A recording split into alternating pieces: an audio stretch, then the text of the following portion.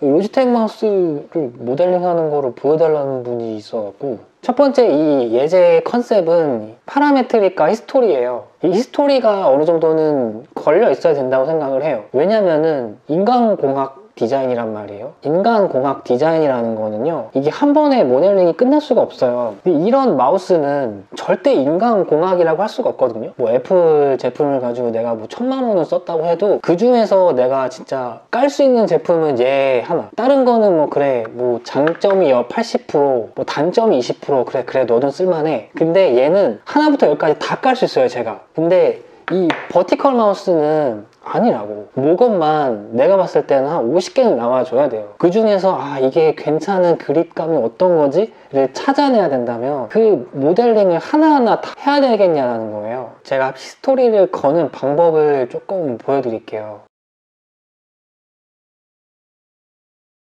일단 기본 형태를 만들 때 어떻게 그렸냐면요. 이게 베이스 커브예요 이게 어디 표면이냐면 지금 요 라인 있죠 요 라인.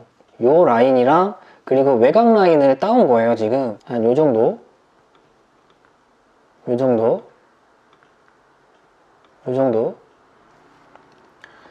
자 그래서 이 커브와 이 커브를요 history를 켜놓은 상태에서 이 두 view로 커브를 씁니다 그러면은 이 두 개의 선으로부터 history가 걸리는 선이 생겨요. 무슨 얘기냐면은 이 선을 편집을 하잖아요. 그러니까 이 선을 직접적으로 편집하는 게 아니라 이 선을 내리면 얘가 같이 따라오는 식이에요. 그리고 요 라인 요 라인은 딱히 뭐 그렇게 history를 건 건 아니에요. 그리고 요 라인도 마찬가지고 그냥 그렸어요. 3D 커브예요. 그냥 평면 커브가 아니어도 돼요 근데 얘는 지금 대각선으로 평면 커브를 제가 만들었고 그 다음에 요 놈도 평면 커브입니다. 이제 loft로 면을 생성을 하는데요. 제가 이제 나중에 이거를 좀 비틀어서 이게 이 라인이 옆으로 좀 빗나가는 것도 좀 보여드릴 건데 그거 이음새를 결정하려면은 중간 과정에 몇 개가 더 필요합니다. 그래서 그거는 제가 이따 보여드릴 거고 여기서 재생성 옵션을 사용을 했어요. 이때 개수는 제가 지금 40개로 정했는데 이거 개수는 많으면 많을수록 좋습니다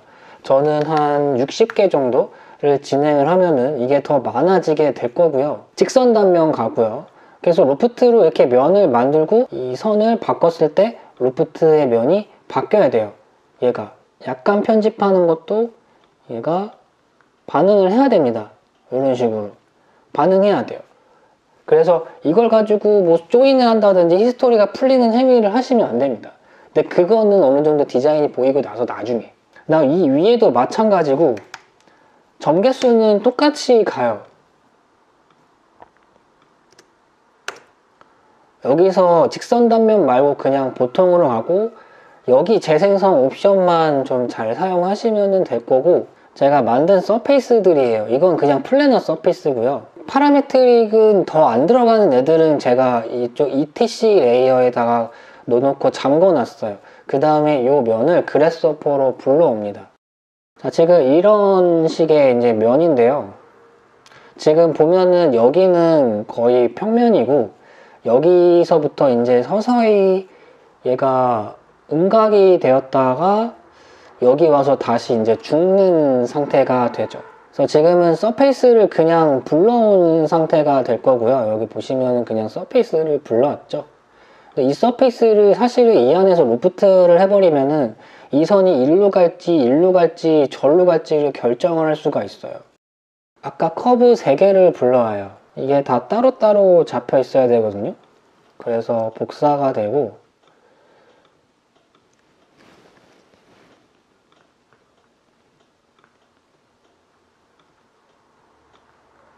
어, 요 커브 하나를 이제 여기다가 하나 불러오고 제가 이제 얼마나 얘가 잘 못 만드는지 한번 보여드릴게요.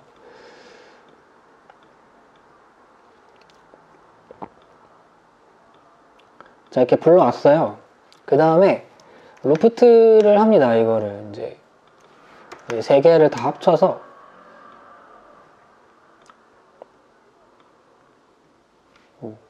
그 다음 loft를 하면은 되게 이상한 면이 만들어져요. 꼬인 거죠 지금 이게 이게 이음새의 위치가 조금 다른 건데 라이노의 loft는 이음새 정렬이 자동으로 돼요 근데 얘는 안 되거든요 end point의 위치가 굉장히 중요합니다 이게 end point 첫 번째 커브의 end point가 어딨냐면은 여기 있어요. 여기. 그 다음에 여기 loft의 옵션도 좀 정해야 되는데 옵션에 들어가면 여기서 none 말고 rebuild 가고 이거 아까 60개로 했었거든요. closed loft 필요 없고 align section 해도 사실 크게 의미가 없어요. 음, 좀 정리가 조금 되긴 했거든요. 근데 조금 찝히는 현상이 좀 있긴 있어요. 어, 괜찮은가?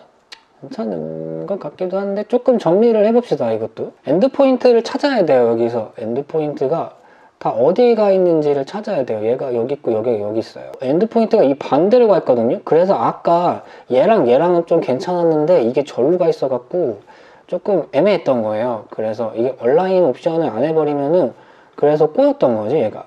절로 가 있던 거죠 얘가 섹션이.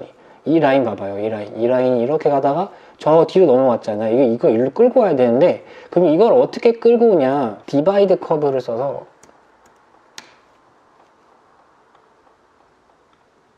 이 count를 그냥 막 올려요 그냥 이렇게 이렇게 그리고 얘를 이제 interpolate를 할 건데 interpolate 새로 긋는 거죠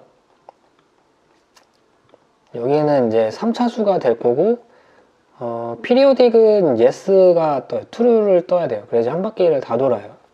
그래서 새로 그립니다. 이렇게 보시면은 이게 이제 새로 그려지는 선이에요. 요 놈이 요 선이 근데 조금 속성이 다른 거죠. 점이 이제 100개니까 조금 양이 많을 거예요.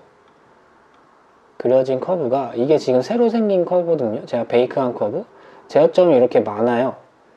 음, 그죠? 자 이거를 가지고 그 다음에 뭘 하냐면은 얘가 시작점이 지금 end point가 저 아, 똑같을 거예요 여기 shift list라고 있거든요 그러니까 점의 순서를 밀어 제껴요 얘가 그래서 얘를 이렇게 넣어주면은 얘가 밀려나요 지금 보시면은 점이 약간 옆으로 밀었어요. 이거 한 반 정도 밀면은 얘가 이제 end point가 일로 넘어오게 될 거예요. 얘가. 아마 이 점은 이제 맨 처음에 커브의 end point고 그래서 이거를 이렇게 밀어 제끼면 돼요. 얘가 그래도 조금 아까보다는 이제 나아진 거를 볼 수가 있죠. 얘가. 근데 좀 뒤집혔거든요. 가는 방향이 바뀌었어요. flip curve라고 있거든요. 가는 벡터를 정해야 돼요. 그래서 그래스호퍼가 어려워요. 이게 라이노랑은 또 사뭇 다르죠. 이게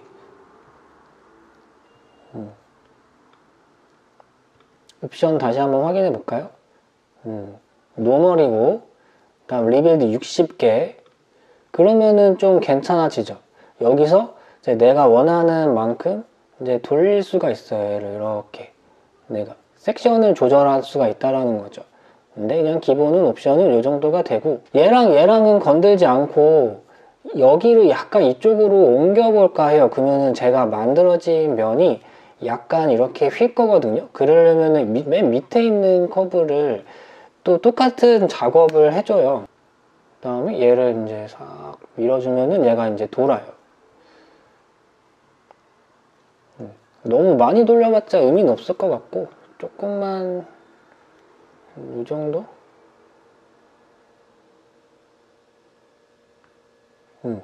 그래서 이게 이제 하나의 surface가 될 거고 얘가 이렇게 약간 각져 있는 거는 이 소스를 조금 많이 줄여서 그래요. 이게 조금 high quality로 좀 올려주면은 좀 괜찮아져요. 어, 여기 있어요. 요명 영어 거예요 요거. 이 서페이스 프롬 포인트 얘가 격자로 찍혀 있는 점을 가지고 면을 생성을 해요.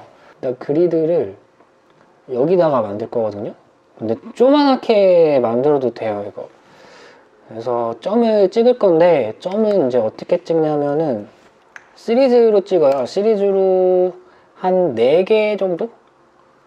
이거는 한 5개 정도? 다섯 개 정도의 점을 찍으시면 됩니다. 음, 다섯 개 정도는 찍으면 되고 그 다음에 어, 이쪽으로는 딱세 개만 찍어요. 이쪽으로는 이제 격자가 아니죠. 여기 그래프트 한번 찍어주면 되고요. 그러면은 이렇게 나올 거거든요. 이걸 포인트로 만들어내고 U count는 아마 이 숫자나 이 숫자 둘 중에 하나를 넣었을 때 어, 면이 생성이 되면 돼요. 여기 flatten 걸고 3 5는 에러나죠. 3은 괜찮죠. 그러면 이 숫자라는 거죠. 여기 있는 점들 중에 요 번호가 있어요. 요 점.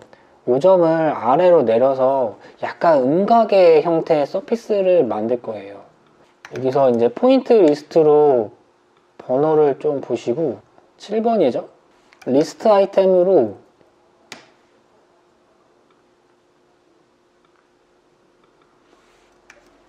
음, 7 정도를 뽑아내요.